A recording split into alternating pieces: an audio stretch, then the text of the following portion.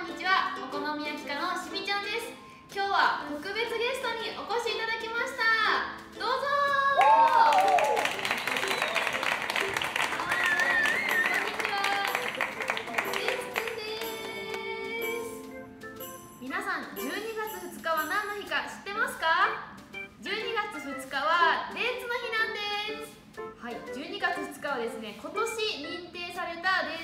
なんですがはいこちらです。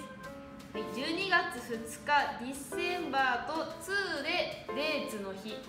ディセンバー2ディセンバー2ディセンバー2ディセンバー2レーツレーツレーツの日ということですね。デーツの日は今年認定皆さんこれから12月2日はデーツの日。よろしくお願いしま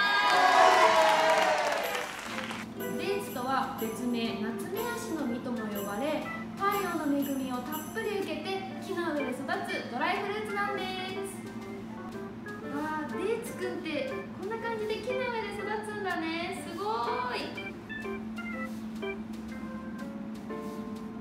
なんでオタフクソースがデーツを紹介しているのかというと実はこのお好みソースに40年以上前から原料として使ってきているんです。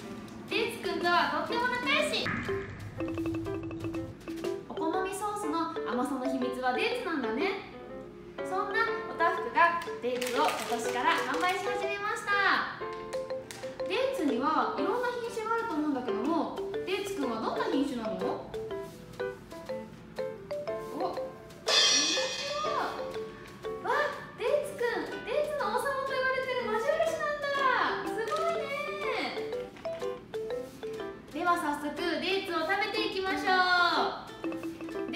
食べるときはまずは半分に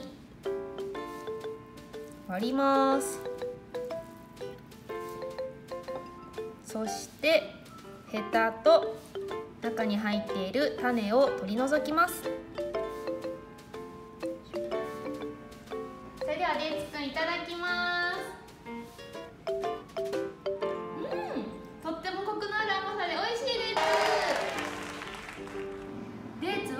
美味しいだけではなくて栄養もたっぷりなんだよね。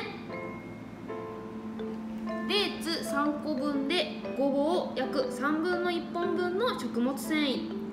バナナ約半分のカリウムが含まれているんだよね。そしてそしてそのまま食べても美味しいデーツなんですがこんなおしゃれな料理に変身することも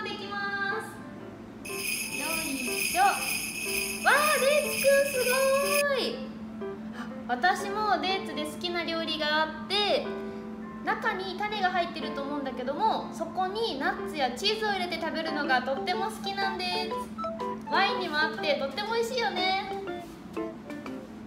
他にもクリスマスにぴったりなアレンジデーツレシピを紹介しているので詳しくは概要欄からチェックしてくださいね。皆さんもデーツぜひ食べてみてくださいね。全国のスーパーで販売中です。